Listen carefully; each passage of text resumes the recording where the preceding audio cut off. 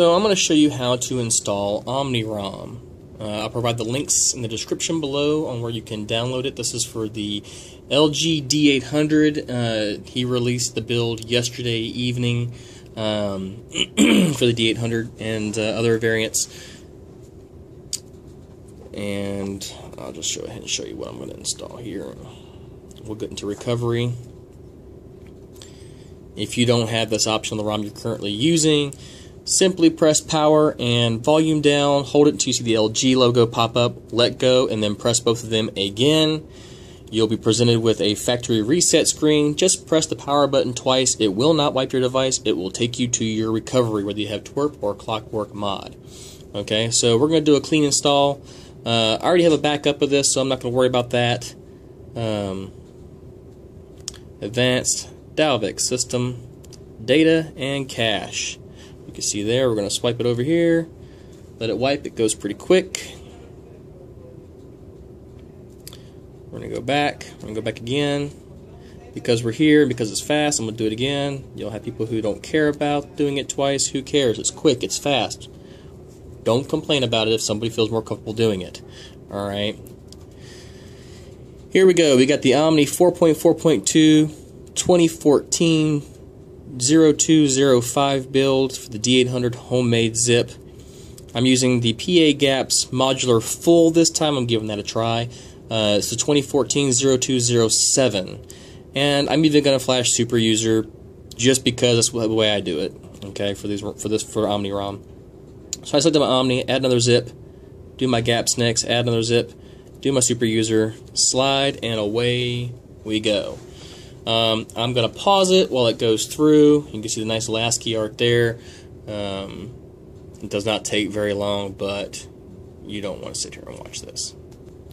Wow, so I literally maybe only saved you 30 seconds. Um, again, when you're not flashing an LG based ROM, it flashes pretty quick. So hit reboot, you're going to see it for its first boot screen here.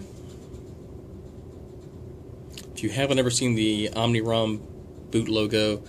Um, I've seen enough that uh, I'm used to it, but it is uh, it's nice.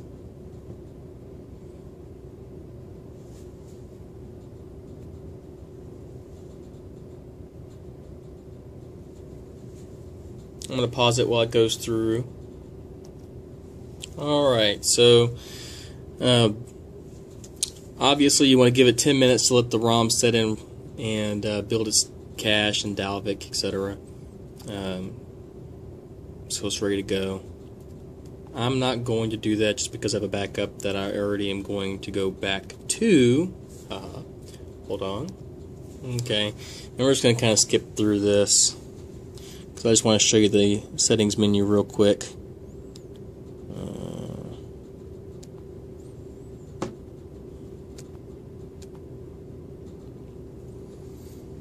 Okay, this is the Google Experience Launcher. It's the one that I use. Um, in my opinion, it's one of the reasons why you would want to use an Android KitKat ROM. I like being able to say, OK, Google, and it works. And I like having my Google Now pane. That is a preference.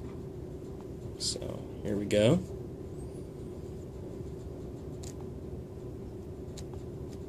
Alright, now let's talk about the settings, which you're presented with here in OmniROM. Okay. We got brightness control, notification count, notification or network speed indicator, network activity indicator, quick pull down, which I do use, smart pull down, double tap to sleep on the status bar, so don't complain about not having double tap to sleep if you haven't enabled it. Buttons and layout. Alright, that's obviously for your navigation bar dimensions. You can uh, change the height and width of your navigation bar. Uh, that was a request, and uh, Vertigo did add it. Um, quick launch. Alright. Long press to kill. Menus. Here you go. I'll add the screenshot option in mine and screen record. Thank you. Notification drawer. Contextual notification. Okay. Quick swipe. Active display.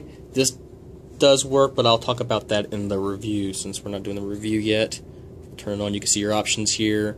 uh, notification text, all notifications hide low priority, pocket mode on or off, sunlight mode, redisplay notifications, exclude applications, show date, show AM PM, turn off the display, threshold uh, proximity, display timeout, notification brightness. Okay, this is an LCD panel, so you will use power using the active display, unlike AMOLED. Um, clear all button and memory indicator.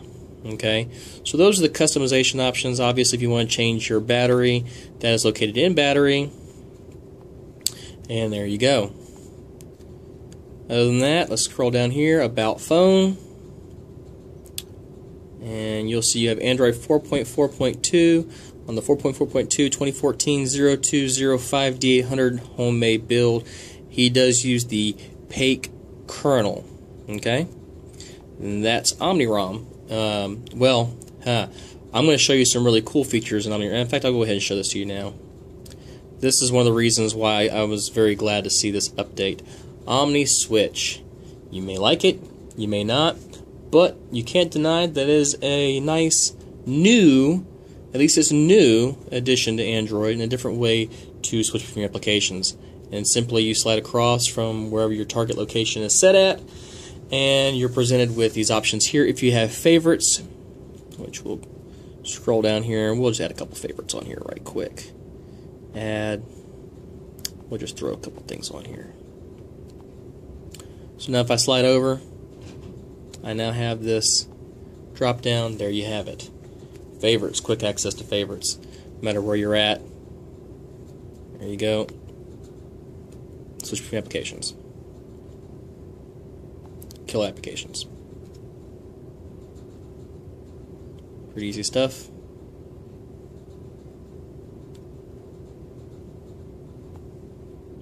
Switch between the last application. There you have Omni and we'll do a review on that here soon.